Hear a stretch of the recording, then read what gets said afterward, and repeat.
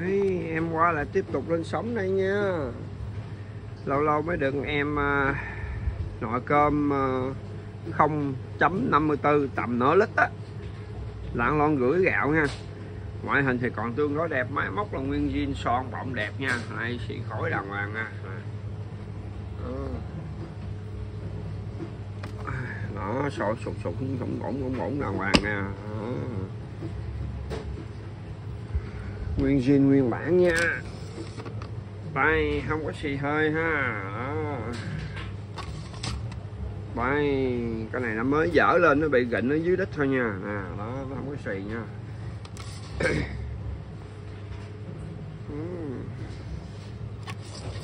Ngày này, hai vợ chồng ăn được, ngon lành canh đào. Nồi nhỏ, gọn. Thì ta gì, con này Mitsubishi quá. Đây, son, lòng son còn cực kỳ đẹp nha. Đó. Gon chỉ độ cây hết nè, không có rịnh, không có rách luôn nha. Đó. rất là đẹp.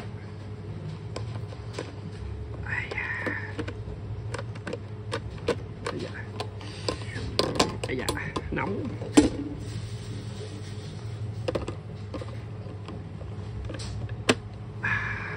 Đây ha, lòng son còn rất là ok nha, đẹp cực kỳ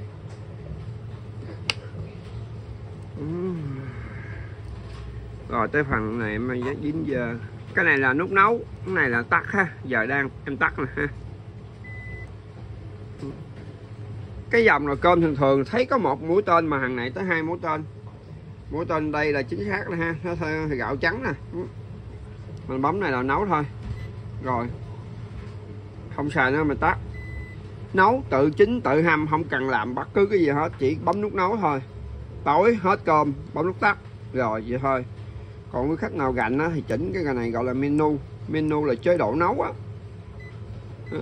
Gạo trắng gạo mềm gạo không do gạo nảy mầm rồi gạo lứt rồi gì tùm lum đó. Đó, đó, đủ thứ kiểu con nào điểu rồi mình bấm hai cái nó mới trở vào mặc định nha. Mình bấm ha bấm một cái. Nó không nó hầm ha. Bấm cái nữa nó mới trở vào mặc định của nhà sản xuất yêu cầu nấu gạo trắng. Bấm này là nấu bấm này là tắt thì hướng dẫn sơ sơ vậy thôi, nhưng mà mình khuyên quý khách nên bấm này là nấu. Bấm này là tắt. Rồi, đơn giản như thôi, không cần làm gì nhiều. Bạn này thì em bán giá công khai là 450 ngàn ha. Quý khách nào chuyển khoản đủ, em bao ship bằng này nha. Ship bằng này ba bốn chục ngàn nha, tầm giờ đó.